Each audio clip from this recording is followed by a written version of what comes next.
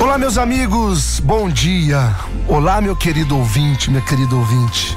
Que a paz esteja na sua casa, que Deus te abençoe. Hoje, eu, Padre Alessandro Campos, quero abençoar você que está com depressão. É, todos nós, sem exceção, às vezes temos uma caidinha para depressão, né? Ah, um pouquinho triste, ah, hoje eu tô um pouco triste, eu tô angustiado, tô amargurado. É o caminho para depressão. Claro que quem cultiva esses sentimentos ruins é, vai cultivando de pouquinho em pouquinho. Já viu aquele ditado de grão em grão a galinha enche o papo? Pois é, é assim mesmo que acontece. Se você for cultivando aquele sentimento ruim, por menor que seja, certamente você vai somando. Vai somando, vai somando, daqui a pouco você está numa crise.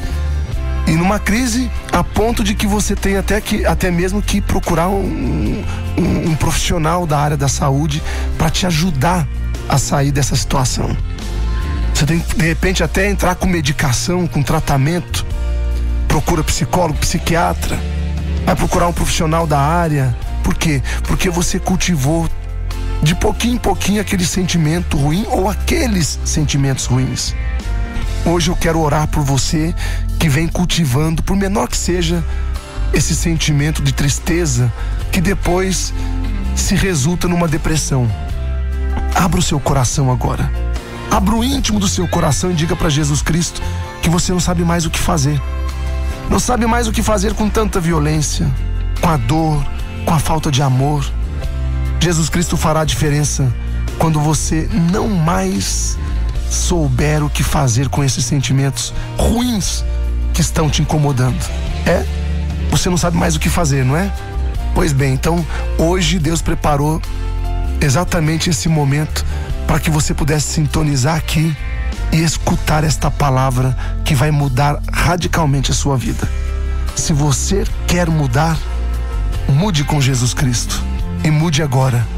Deixe Jesus Cristo fazer a diferença na sua vida e receba agora a benção de Deus para você, para sua família e para sobre, sobretudo para você que está com esse sentimento de depressão e de tristeza. Talvez não seja você, mas seu filho, seu marido, sua mulher, alguém da sua família. Coloque na intenção agora e vamos pedir uma benção especial. A nossa proteção está no nome do Senhor, que fez o céu e a terra. Abençoa, Senhor, esta pessoa que está me ouvindo agora. Esta pessoa que está com depressão, que está com tristeza, com angústia. Esta pessoa que está sofrendo, que já acumulou esses sentimentos ruins que foram sendo cultivados aos poucos.